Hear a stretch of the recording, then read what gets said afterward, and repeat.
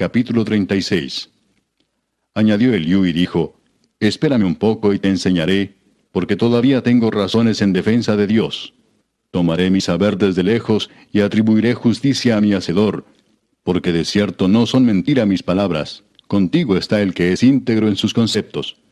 He aquí que Dios es grande, pero no desestima a nadie, es poderoso en fuerza de sabiduría. No otorgará vida al impío, pero a los afligidos dará su derecho.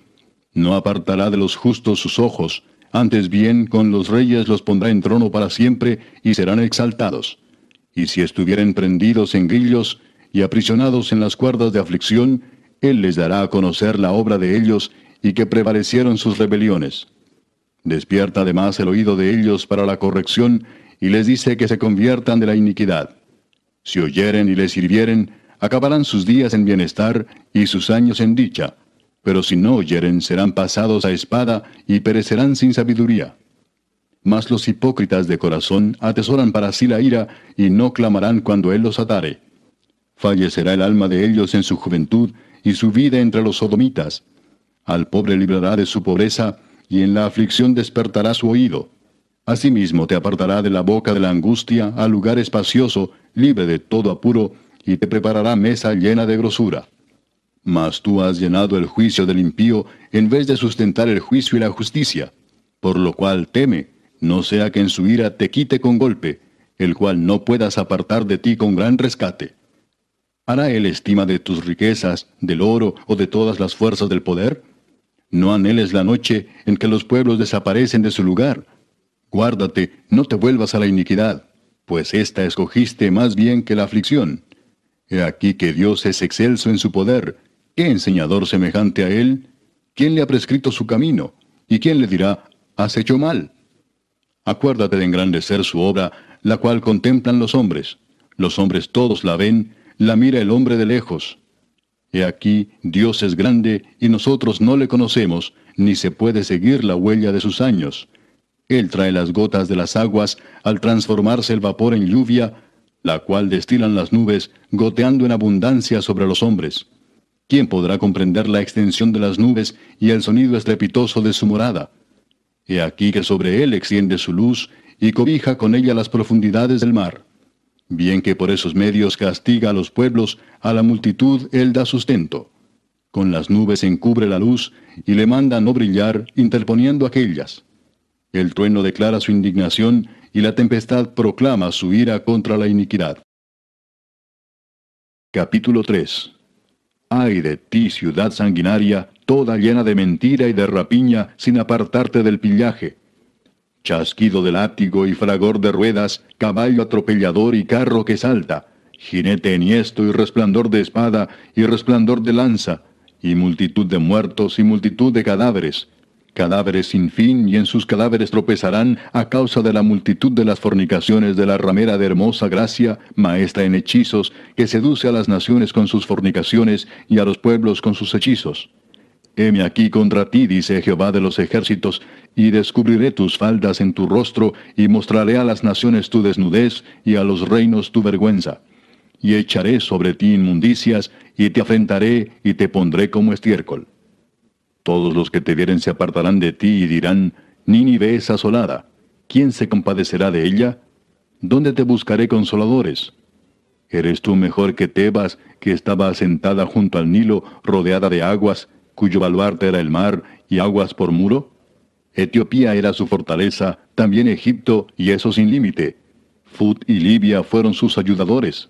Sin embargo, ella fue llevada en cautiverio. También sus pequeños fueron estrellados en las encrucijadas de todas las calles, y sobre sus varones echaron suertes, y todos sus grandes fueron aprisionados con grillos. Tú también serás embriagada y serás encerrada. Tú también buscarás refugio a causa del enemigo. Todas tus fortalezas serán cual higueras con brevas, que si las sacuden, caen en la boca del que las ha de comer.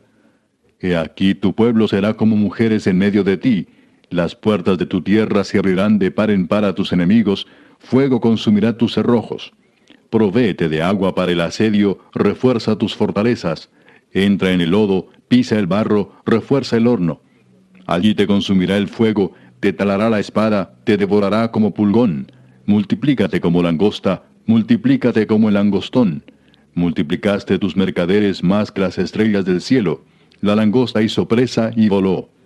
Tus príncipes serán como langostas, y tus grandes como nubes de langostas que se sientan envallados en día de frío. Salido el sol se van, y no se conoce el lugar donde están. Durmieron tus pastores, oh rey de Asiria, reposaron tus valientes. Tu pueblo se derramó por los montes, y no hay quien lo junte. No hay medicina para tu quebradura, tu herida es incurable. Todos los que oigan tu fama batirán las manos sobre ti, porque ¿sobre quién no pasó continuamente tu maldad?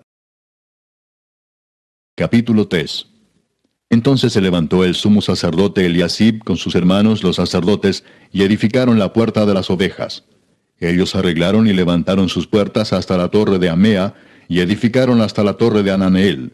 Junto a ella edificaron los varones de Jericó, y luego edificó Sacur, hijo de Imri.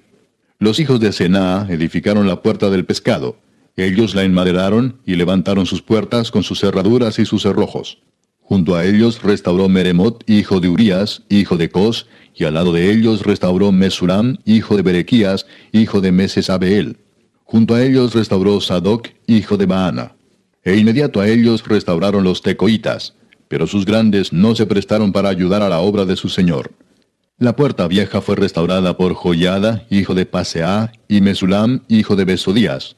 Ellos la enmaderaron y levantaron sus puertas con sus cerraduras y cerrojos. Junto a ellos restauró Melatías Gabaonita y Jadón Meronotita, varones de Gabaón y de Mispa, que estaban bajo el dominio del gobernador del otro lado del río. Junto a ellos restauró Uziel, hijo de Araía de los plateros, junto al cual restauró también Ananías, hijo de un perfumero. Así dejaron reparada a Jerusalén hasta el muro ancho. Junto a ellos restauró también Refaías, hijo de Ur, gobernador de la mitad de la región de Jerusalén. Asimismo restauró junto a ellos y frente a su casa Jedaías, hijo de Arumaf, y junto a él restauró a Tus, hijo de Asabnías. Malquías, hijo de Arim, y Asub, hijo de Paad Moab, restauraron otro tramo, y la torre de los hornos. Junto a ellos restauró Salum, hijo de Aloes, gobernador de la mitad de la región de Jerusalén, él con sus hijas. La puerta del valle la restauró Anún con los moradores de Sanoa. Ellos la reedificaron y levantaron sus puertas con sus cerraduras y sus cerrojos y mil codos del muro hasta la puerta del muladar. Reedificó la puerta del muladar Malquías, hijo de Recab, gobernador de la provincia de Bet Akerem. Él la reedificó y levantó sus puertas, sus cerraduras y sus cerrojos. Salum, hijo de Colose, gobernador de la región de Mispa, restauró la puerta de la fuente. Él la reedificó, la enmaderó y levantó sus puertas, sus cerraduras y sus cerrojos, y el muro del estanque de Siloé hacia el huerto del rey y hasta las gradas que descienden de la ciudad de David. Después de él restauró Nehemías, hijo de Azbuc, gobernador de la mitad de la región de Betsur, hasta delante de los sepulcros de David, y hasta el estanque labrado, y hasta la casa de los valientes. Tras él restauraron los levitas, Reum, hijo de Bani, y junto a él restauró a Sabías, gobernador de la mitad de la región de Keila, por su región. Después de él restauraron sus hermanos, Babai, hijo de Enadad, gobernador de la mitad de la región de Keila. Junto a él restauró Eser, hijo de Jesúa, gobernador de Mispa, otro tramo frente a la subida de la armería de la esquina. Después de él, Baruch, hijo de Sabai, con todo fervor restauró otro tramo, desde la esquina hasta la puerta de la casa de Eliasib, sumo sacerdote. Tras él restauró Meremot, hijo de Urías, hijo de Cos, otro tramo, desde la entrada de la casa de Eliasib hasta el extremo de la casa de Eliasib. Después de él restauraron los sacerdotes, los varones de la llanura. Después de ellos restauraron Benjamín y Asub, frente a su casa. Y después de estos restauró Azarías, hijo de Maasías, hijo de Ananías, cerca de su casa. Después de él restauró Benui, hijo de Enadad, otro tramo, desde la casa de Azarías hasta el ángulo entrante del muro y hasta la esquina. Palal, hijo de Usai, enfrente de la esquina y de la torre alta que sale de la casa del rey, que está en el patio de la cárcel. Después de él, Pedaías, hijo de Faros. Y los sirvientes del templo que habitaban en Ofel restauraron hasta enfrente de la puerta de las aguas al oriente y la torre que sobresalía. Después de ellos restauraron los tecoitas otro tramo, enfrente de la gran torre que sobresale, hasta el muro de Ofel. Desde la puerta de los caballos restauraron los sacerdotes, cada uno enfrente de su casa. Después de ellos restauró Sadoc, hijo de Imer, enfrente de su casa, Y después de él restauró Semaías, hijo de Secanías, guarda de la puerta oriental. Tras él, Ananías, hijo de Selemías, y Anún, hijo sexto de Salaf, restauraron otro tramo. Después de ellos restauró Mesulam, hijo de Berequías, enfrente de su cámara. Después de él restauró Malquías, hijo del platero, hasta la casa de los sirvientes del templo y de los comerciantes, enfrente de la puerta del juicio y hasta la sala de la esquina. Y entre la sala de la esquina y la puerta de las ovejas restauraron los plateros y los comerciantes.